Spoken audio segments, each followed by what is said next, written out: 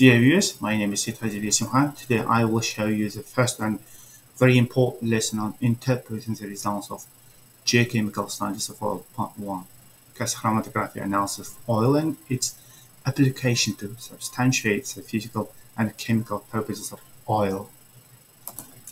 This slide provides brief information about myself. I have 13 years of experience in interpreting geochemical data received bachelor's degree in petroleum engineering and master's degree in petroleum geochemistry at Newcastle University. I am the founder of a geochemistry laboratory in Chem Engineering, in which over the last nine years we have carried out geochemical analysis of 7,000 of oil samples derived from 160 oil and gas fields of Kazakhstan and the Russian Federation within the framework of 100 projects. I have been a geochemistry trainer for the last five years in Kazakh, Russian, and English languages.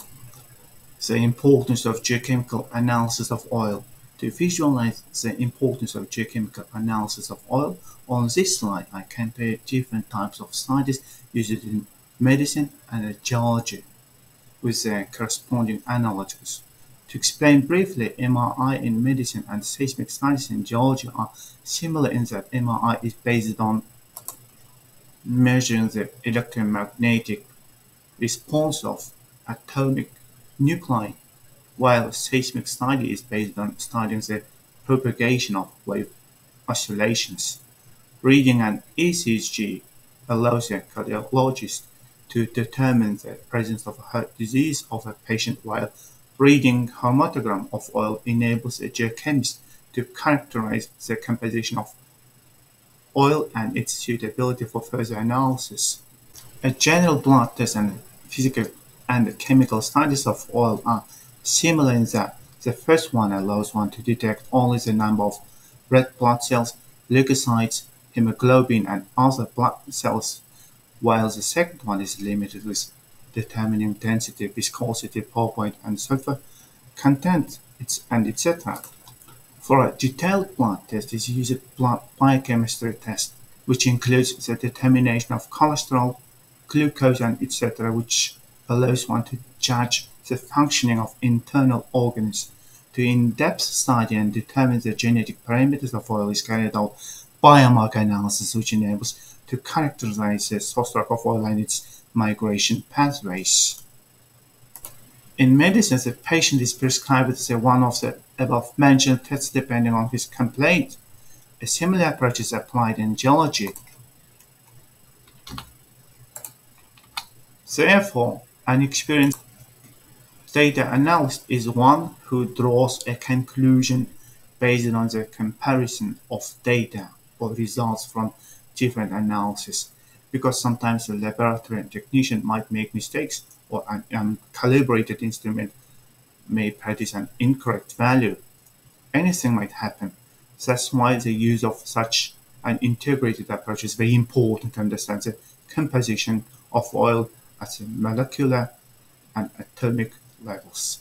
Sometimes, as can be seen in the figure, specialists from different laboratories can say the same thing with different terms. Geochemical study of oil can be divided into two groups, reservoir geochemistry and source rock geochemistry. Reservoir geochemistry includes an assessment of reservoir continuity, compartmentalization studies, and the correlation of pay zones, determination of the degree of oil mixing from several sources, and compositional alterations of oil in reservoir conditions.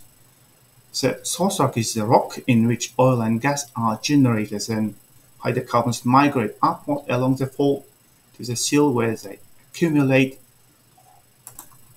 For the source rock geochemistry are carried out biomarker analysis and carbon isotope analysis to characterize the source rock of oils in terms of environmental condition, type of kerogen, lithology, age of source rock, and thermal maturity assessment. Based on this, we can discern genetic link between different oil samples, so it's called genetic typing of oil. Identification and characterization of source rocks can be done by Rock-Eval pyrolysis, vitrinite reflectance measurement, and maceral analysis, and etc. For reservoir geochemistry studies of oil, I used light hydrocarbon fractions, while for the source rock geochemistry of oil, higher molecular weight n-alkanes, well, heavy oil fractions in which biomarkers are present are used. There are several geochemical analyses of oil to characterize their source rocks. In this seminar, I will show you the interpretation of the results of the following five types of main analysis. Gas chromatography analysis of oil, biomarker analysis of oil, diamondoid analysis of oil, and analysis of aromatic hydrocarbons, carbon isotope analysis of oil, its fractions, uh, five um, NMR or and uh, IR spectroscopy anal analysis. Today I will show you the interpretation of the results of gas chromatography analysis of oil and its application to substantiate the physical and chemical properties of oil. We geochemists use gas chromatography but petrochemists use a distillation column. The operating principles of these instruments are very similar since the yield of hydrocarbons is based on the boiling points. In both approaches, the light hydrocarbons such as gasoline, kerosene, diesel come out first, then more intermediate ones are separated. Finally, higher molecular and alkanes hydrocarbons come out or elute. In gas chromatography analysis, the retention time of each hydrocarbon is shown on the x-axis, while the concentrations are on the y-axis. The difference between these approaches is that in gas chromatography, petroleum products of oil are not separated, but the relative concentrations can be visually seen and interpreted. Gas chromatography of oil is carried out to check the quality of the samples and their suitability for further analysis. That's why I showed it first on the list, you can integrate the peaks of alkanes and isoprenoids using three ways. The first way is adding an internal standard to the oil before the analysis. We add cyclopentane to the oil sample because on the chromatogram it elutes between C15 and C16. Then we can easily integrate the remaining peaks if we forget to add an internal standard to the oil sample, then we can use the second way. Can you see two peaks that elute immediately after C17 and C18? They are pristane and futane, phytane. Yeah? If we identify them, then we can easily integrate the remaining peaks the third way of peak integration is based on the assumption that each alkane elutes at a certain retention time unless the column and the method of the analysis are changed. Let's interpret GCFID chromatograms of oils visually without integration of peaks. If such chromatograms demonstrate a bias in the distribution of alkanes toward higher molecular n-alkanes, then it is typical of oils derived from marine organic matter. It means the source of such oils is deposited in the marine environment. Marine sourced oils usually have a lower paraffin content and accordingly sub-zero pour point values and they're usually found in deep sediments.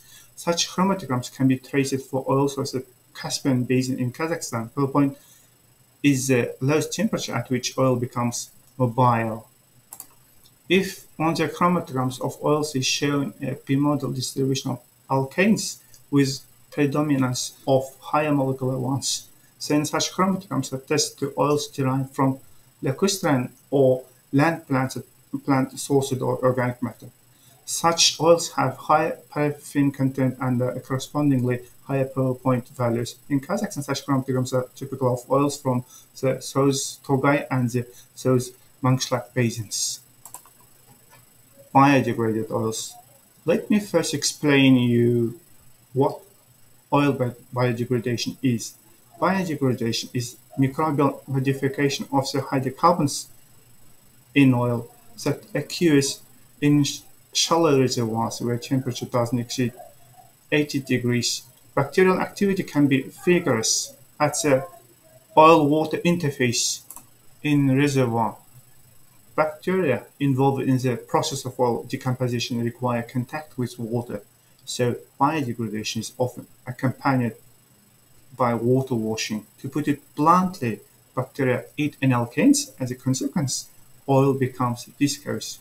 So severe degree of biodegradation usually increases the acidity, metal composition, sulfur content, viscosity, density of the oil. The effect of biodegradation on gas chromatograms of saturates is most obvious when alkanes have been attacked significantly. As biodegradation process and the major resolved components are removed, the characteristic broad hump becomes apparent in chromatograms. This hump is caused by UCM, unresolved complex mixtures, you can see there. Of course, some stable isoprenoids with no alkanes may be present in the chromatograms of such oil.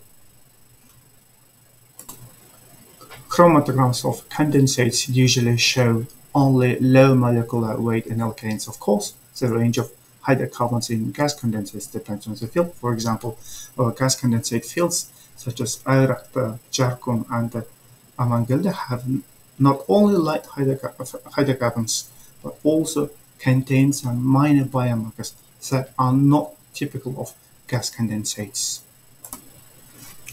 As we said earlier, over the last nine years, we have carried out geochemical studies of 7,000 oil samples derived from 160 fields of Kazakhstan, and we have a huge database. We have published many scientific papers in the US, Europe, and the CIS countries, so we can show you some non-confidential data here. For all oil and gas basins of Kazakhstan, we created a geochemical atlas of oil and environmental conditions of organic matter, where marine sourced oils were marked in dark blue circle, while lacustrine ones are with light blue circles. In the Caspian Basin, oils were derived from marine organic matter, while those in the South Turgay Chu-Sarysu and Buzachi basins were formed mainly from lacustrine organic matter. In the South Mangyshlak Basin, oils were determined to be generated from both marine and lacustrine organic matter. For instance, the lower horizons of horizons of Jet field demonstrated marine source sourced oils while the upper horizons showed lacustrine source sourced oils. It should be noted that within the same basin there might be oils with different chromatograms, for example, in the field of the southern part of the Caspian Basin. Four groups of oils can be seen. The first group includes non-biodegraded oils, in the chromatograms of which all alkanes are present, as you can see. Slightly biodegraded oils comprise the second group. The chromatograms indicate the absence of light fraction with the signs of biodegradation. The third group includes oils that have undergone evaporative fractionation in the reservoir. Light fractions first phase in the oil migrated from the lower layers to the upper intervals due to the flow of dry gas and turned into the liquid phase at a relatively low temperature of the reservoir. So they get mixed with the oil of this layer. That is the second phase. For further interpretation of such oils, we usually carry out separate analysis to calculate Thompson, Halpern, Mango parameters. The fourth group includes biodegraded oils. Almost 90% of the oils in the Cretaceous sediments in the southern part of the Caspian Basin has undergone biodegradation. Let's do practical task number one together. Using oil chromatograms, determine which oils are biodegraded and which are not biodegraded. It is also necessary to determine the environmental condition of the organic matter from which these oils were derived. Yes, the presence of Naphthenic hump on the chromatograms of Moldabek and Karasor oil samples indicates biodegradation, while the presence of bimodal distribution of alkanes on the chromatograms of Akshabulak oils suggests lacustrine or land plant sourced oils. Next, let me show you how biodegradation and the environmental condition of the organic matter affect the physical and chemical properties of oil. Here, the results of the physical and chemical properties of these oils. So here we can substantiate the physical and the chemical properties of oil. For example, due to the biodegradation, oils from eastern Moldabek and the western Karasor have a relatively high density, viscosity, and high content of chloride salts compared to other non-biodegraded oils. In terms of environmental condition of organic matter, the lacustrine sourced oils such as East and South Akshabulak have a relatively high paraffin content and pour point values compared to marine sourced oils. After integration of peaks on the chromatogram, it is possible to conduct a quantitative analysis by these two plots. The first plot is used to determine environmental condition of organic matter, thermal maturity assessment, and the biodegradation on PIGI software. The second one is plot of carbon preference index and terrigenous aquatic ratio for assessing the contribution of land-plant sourced and aquatic sourced organic matter in the composition of oils. Thank you for your attention.